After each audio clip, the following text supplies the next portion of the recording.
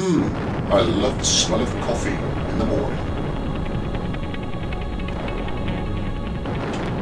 Hello, darling. Just checking in. To see if you've turned the cooker off. Okay, it's home.